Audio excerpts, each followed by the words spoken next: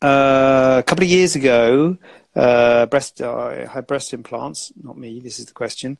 Um, and I've got a breast lump. Should I be concerned? Yes, you should. Uh, we did. We have that last week, but none of you guys were there last week, probably because it was on YouTube Live last week, wasn't it?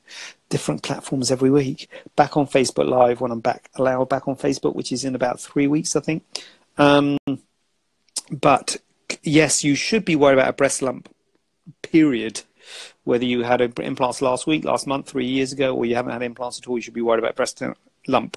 So get it checked out. Exhibit A, go to your GP, get it checked out. If you've got breast implants in, it's not unreasonable for your doctor to maybe want to see your plastic surgeon. So we would see you no problem at all because it might be the implant that's causing the lump. It might be a knuckle of the implant just as time, got an implant there somewhere, but as time contracts around the implant, it uh, can make a little knuckle of the implant. You can feel a little edge of the implant. So it might be that, in which case that's fine or it might be within the breast tissue, which is sort of anterior in front of the implant. Whether the implant's in front or behind the muscle, the implant is always behind the breast tissue. There's no breast tissue behind the implant, so implants don't really hide lumps.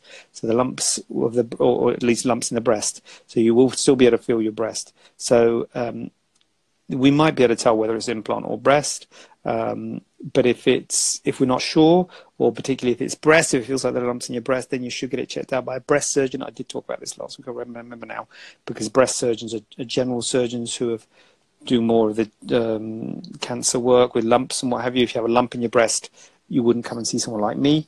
Although I pretty much only do breast, I am a plastic surgeon, so I do the reconstruction after cancer and and cosmetic breast surgery like implants and lifts, but I don't do lumps and I don't do the cancer work and ultrasounds and MRIs and things like that. That's a breast surgeon.